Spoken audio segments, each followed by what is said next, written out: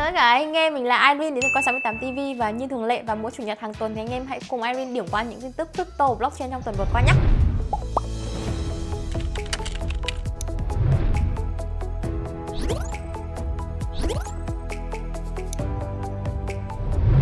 Ok và tin tức đầu tiên đáng chú ý trong tuần vừa rồi là nguồn cung của Tether hay là USDT thì đã lần đầu tiên vượt mốc 100 tỷ đô la Mỹ. Sáng ngày mùng 5 tháng 3 thì trong bối cảnh Bitcoin vượt ngưỡng 68.600 đô la Mỹ và áp sát mức đỉnh ATH là 69.000 đô thì một trụ cột khác của ngành tiền mã hóa là stablecoin Tether hay là USDT thì cũng đã đánh dấu việc lần đầu tiên trong lịch sử 10 năm hoạt động đã đạt vốn hóa hơn 100 tỷ đô la Mỹ. Nguồn cung của USDT trong 7 ngày gần nhất thì đã tăng thêm hơn 2 tỷ đô. Qua đó thì chính thức đạt cột mốc là 100,2 tỷ đô la Mỹ với giao dịch phát hành mới nhất ở trên mạng là Tron. Như vậy thì nếu tính từ tháng 10 năm 2023 cho đến giờ, thời điểm thị trường crypto bắt đầu phục hồi thì vốn hóa của Tether đã nở phòng thêm tới 17 tỷ đô la Mỹ.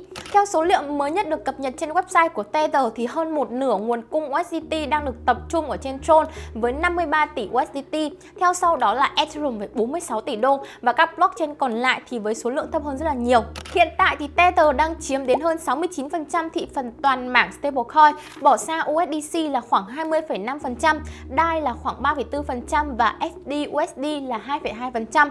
Trong chu kỳ thị trường trước thì vốn hóa của Tether đã đạt đỉnh ở mức là 83 tỷ đô la Mỹ vào tháng 4 năm 2022, ngay trước cú sập của Luna USD. Sang đến năm 2023 thì đồng stablecoin này lại thu hút thêm một lượng lớn thị phần khi mà hai đối thủ chính là USDC và BUSD thì lần lượt gặp sự cố defect và bị cấm cản về mặt pháp lý. Tether thì đang có một năm 2023 vô cùng thành công nhờ vào chiến lược đầu tư lượng lớn tài sản bảo chứng cho USDT vào trái phiếu kho bạc Mỹ thu lợi lên đến 6,2 tỷ đô la Mỹ. Công ty này thì sau đó đã sử dụng tiền lời để tạo quỹ thặng dư cho USDT cũng như là đầu tư vào Bitcoin vàng cùng các sáng kiến khác. Toàn bộ lượng trái phiếu kho bạc Mỹ của Tether thì đang được lưu giữ tại Cantor Fitzgerald, một công ty quản lý tài sản có trụ sở tại New York, Mỹ. Trả lời báo giới vào tháng 1 năm 2024 thì CEO của Cantor Fitzgerald là ông Howard thì đã tuyên bố Tether có đủ tài sản để đảm bảo giá trị của USDT cũng như là bày tỏ niềm tin vào mô hình hoạt động của công ty stablecoin này. Tin tức thứ hai là nhà điều hành chứng khoán lớn nhất nước Đức ra mắt một sàn giao dịch crypto. Theo tờ Reuters thì Deutsche Börse, công ty đa quốc gia điều hành sàn giao dịch chứng khoán lớn nhất của nước Đức sẽ chính thức khởi động một nền tảng giao dịch giao ngay tiền mã hóa dành cho các khách hàng tổ chức có tên là DBDX vào cuối tuần này. Ban đầu thì sàn giao dịch DBDX sẽ hoạt động theo phương thức là yêu cầu báo giá hay là RFQ là một quá trình kinh doanh, trong đó một công ty hay là tổ chức nhà nước sẽ yêu cầu báo giá từ nhà cung cấp để mua các sản phẩm hay là dịch vụ cụ thể. Sau đó thì sẽ là giao dịch đa phương. Trong thông báo trên thì Deutsche Börse sẽ vận hành sàn giao dịch là DBDX cung cấp một hệ sinh thái được quản lý đầy đủ cho việc giao dịch. Còn Crypto Finance thì sẽ cung cấp một dịch vụ lưu ký và thanh toán. Deutsche AG hay là Deutsche Group là một công ty đa quốc gia của Đức được thành lập vào năm 1992, có trụ sở chính tại Frankfurt, cung cấp thị trường để tổ chức giao dịch cổ phiếu và các loại chứng khoán. Tập đoàn này thì đang có hơn 3.200 nhân viên phục vụ khách hàng ở đa quốc gia thuộc châu Âu, Hoa Kỳ và châu Á. Trong đó thì FWB hay còn gọi là Sở giao dịch chứng khoán Frankfurt thì là một trong những trung tâm giao dịch chứng khoán lớn nhất thế giới. Crypto Finance thì được hậu thuẫn bởi Deutsche Bank vào năm 2023. Họ đã công bố hợp tác với nhà cung cấp dịch vụ tài chính là Apex Group để cung cấp các sản phẩm đầu tư tiền mã hóa dành cho các tổ chức. Tháng trước thì cơ quan quản lý Đức đã cấp cho Crypto Finance 4 giấy phép bao gồm các dịch vụ liên quan đến tài sản kỹ thuật số, giao dịch, thanh toán và lưu ký tại Đức. Chúng tôi thì nhằm mục đích cung cấp hoạt động thị trường đáng tin cậy cho tài sản tiền mã hóa, đảm bảo tính minh bạch, an toàn và tuân thủ các quy định cho các khách hàng doanh nghiệp tại châu Âu. Giám đốc FX và tài sản kỹ thuật số tại Deutsche thì cho biết, động thái này thì diễn ra khi mà Bitcoin đang được giao dịch quanh mốc là 68.700 đô, mức giá cao nhất trong vòng 2 năm, chỉ còn cách chưa đầy 400 đô nữa so với đỉnh ATH là 69.000 đô la Mỹ của tháng 11 năm 2021. Tin tức đáng chú ý tiếp theo là đơn kiện của SEC thì đã khiến Binance US sa thải hơn 200 nhân viên, doanh thu thì giảm 75%. Theo tờ Fortune thì trong tài liệu tòa án ngày 5 tháng 3 thì COO Christopher Blockett của Binance US đã tiết lộ sàn giao dịch này thì đã buộc phải sa thải hơn 200 nhân viên, tương đương với khoảng 2 phần 3 lực lượng lao động kể từ khi SEC đâm đơn kiện vào tháng 6 năm 2023. Chưa hết thì vị COO này thì còn cho biết đơn vị còn khiến cho doanh thu của sàn giảm 75%. Ông mô tả nó như là một cú đánh gần như là chí mạng, gây ảnh hưởng cục diện đến hoạt động của công ty, bao gồm giảm khả năng tìm kiếm đối tác là ngân hàng hay là các nhà tạo lập thị trường. Lượng đối tác của công ty thì đã giảm từ 20 xuống con số là chỉ còn 5 đối tác sau vài tháng. Trong đơn kiện vào tháng 6 năm ngoái thì SEC hay là SEC đã đệ đơn trình 13 cáo buộc chống lại Binance, bao gồm là sàn xáo trộn tiền khách hàng vào quỹ của công ty, cung cấp giao dịch chứng khoán hay là cáo buộc Binance và nhà sáng lập là Trang Penzao đã tham gia hỗ trợ đường dây rửa tiền. Đến tháng 9 cùng năm thì Binance US đã báo cáo rằng đã phải sa thải 100 nhân viên, trong khi giám đốc điều hành Brent Scruder thì đã rời công ty sau 2 năm gắn bó.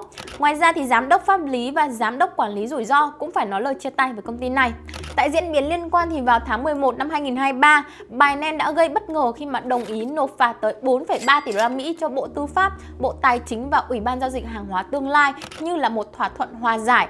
Trong đó thì CEO CZ sẽ buộc phải thôi chức. Ông thì dự kiến sẽ phải hầu tòa tuyên án vào tháng 4 năm 2024. Là một phần trong hành động thực thi thì SEC đã tìm cách đóng băng tài sản của nền tảng giao dịch Mỹ với lập luận rằng CZ thì có thể rút tiền khỏi sàn giao dịch này. Theo tiết lộ của Blockgate, một thẩm phán đã từ chối yêu cầu này, xong thì nó vẫn gây ra tổn hại nặng nề lên hoạt động của sàn giao dịch. Tin tức tiếp theo là dòng tiền đổ vào ETF Bitcoin thì đạt gần 650 triệu đô bất chấp việc giá của Bitcoin đâm từ all time high. Vào dạng sáng ngày 6 tháng 3 năm 2024 thì thị trường crypto đã chứng kiến một đợt flash đâm hơn 5.000 giá ngay sau khi mà Bitcoin chạm lại all time high là 69.000 đô. Dẫu thị trường thì vẫn đang biến động một cách dữ dội, thế nhưng điều này thì không làm cản trở dòng tiền tiếp tục đổ vào các ETF Bitcoin Spot. Theo theo số liệu được cập nhật thì dòng tiền đổ vào các sản phẩm ETF vào ngày 5 tháng 3 là 648,3 triệu đô, tạm xếp thứ hai sau all time high vào ngày 28 tháng 2 với số tiền là 673,4 triệu đô. Chỉ tính riêng ETF của BlackRock với ký hiệu là IBIT thì đã tiếp tục lập đỉnh mới với 788,3 triệu đô hay nói đúng hơn là một mình BlackRock thì đang cân cả một thị trường. Và tiếp tục như mọi ngày trước thì chúng ta chỉ chứng kiến dòng tiền chảy ra từ quỹ GBDC của Grayscale với con số không quá bất ngờ là 332,5 triệu đô. Ngoài ra, ngày giao dịch 5 tháng 3 thì còn chứng kiến khối lượng mua bán lần đầu tiên vượt mốc 10 tỷ đô la Mỹ và lại ghi nhận một con số ATH nữa. BlackRock thì đang là cái tên hàng đầu khi mà nhắc đến ETF ETF ở thời điểm hiện tại. Gã khổng lồ này thì đang nắm giữ tới hơn 10 tỷ đô Bitcoin chỉ sau 50 ngày, chứng tỏ là ETF Bitcoin Spot thì là một sản phẩm đầu tư vô cùng hiệu quả. Chủ tịch của The ETF Store là Nate Gerossi thì cho biết chỉ có khoảng 150 trong số 3.400 quỹ ETF nắm giữ 10 tỷ đô tài sản quản lý. Hầu hết trong số đó thì đã ra mắt cách đây hơn 10 năm, trong khi mà IBIT thì có thể đạt được cuốn mốc này chỉ vòn vẹn sau 7 tuần. Tiếp sau BlackRock thì chính là quỹ FBTC của Fidelity, hiện tại thì đang nắm giữ tới 110.000 Bitcoin. ARKB của ARK và 21 Shares thì có 35.369 Bitcoin. Hiệu quả của các sản phẩm ETF Bitcoin thì đã được chứng minh vô cùng rõ ràng. Chính vì vậy mà các ông lớn đang tiếp tục thi nhau nộp đơn xin ETF Ethereum Spot với hy vọng là được duyệt sớm nhất là trước ngày 23 tháng 5 tới đây. Tuy nhiên thì Ủy ban chứng khoán SEC hay là SEC thì vẫn chưa tỏ thái độ nào cho thấy sẽ thông qua đề xuất này. Nhiều nhà phân tích thì cũng không quá lạc quan với triển vọng chúng ta sẽ sớm có ETF Ethereum Spot. Giá của Bitcoin vào đầu giờ chiều ngày 6 tháng 3 thì đã hồi quanh mốc là 66.000 đô sau một đêm dài đam mạnh. Tin tức đáng chú ý cuối cùng trong tuần là cầu nối cross-chain Wormhole thông báo airdrop token. Theo thông báo đăng tải vào dạng sáng ngày 7 tháng 3 thì giải pháp cầu nối cross-chain là Wormhole đã chính thức công bố sự kiện airdrop token riêng là W cho cộng đồng người dùng và các dự án ở trong hệ sinh thái. Wormhole thì tiết lộ thời điểm snapshot để airdrop thì là vào lúc 6 giờ 59 phút ngày 7 tháng 2 năm 2024 theo giờ Việt Nam. Tuy nhiên thì dự án vẫn chưa xác nhận thời điểm người dùng được phép nhận token. Cụ thể token W sẽ có tổng cung là 10 tỷ và lượng lưu thông ban đầu sẽ là 1,8 tỷ, phân bổ trên 5 blockchain chính là Ethereum, Solana, Arbitrum, Optimism và Base. Trong đó thì có 617,3 triệu token W sẽ được airdrop cho 397.704 ví tiền mã hóa hợp lệ thuộc về cộng đồng người sử dụng cầu nối trong quá khứ, thành viên nhóm Discord, thành viên các cộng đồng NFT và top những người staking Pit Network.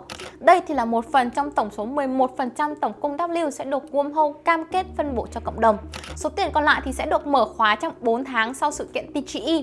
Những người nắm giữ token W thì có thể ủy quyền cho token phục vụ quá trình bỏ phiếu, đưa ra những quyết định quan trọng đối với giao thức như là hỗ trợ thêm blockchain, nâng cấp smart contract, thay đổi cơ cấu phí giao dịch. Gomho thì vào tháng 11 năm 2023 đã gọi vốn thành công 225 triệu đô la Mỹ từ nhiều quỹ lớn sau khi mà tuyên bố tách ra khỏi Trump Crypto. Vậy là vừa rồi chúng ta cùng điểm qua những tin tức crypto và blockchain đáng trong tuần vừa rồi. Anh em nghĩ sao về những tin tức này và anh em còn quan tâm vào những tin tức khác hay không? Hãy cùng comment suy nghĩ của anh em ở phía bên dưới phần bình luận nhé. Mình là Irene và hẹn gặp anh em trong những video sau. Bye!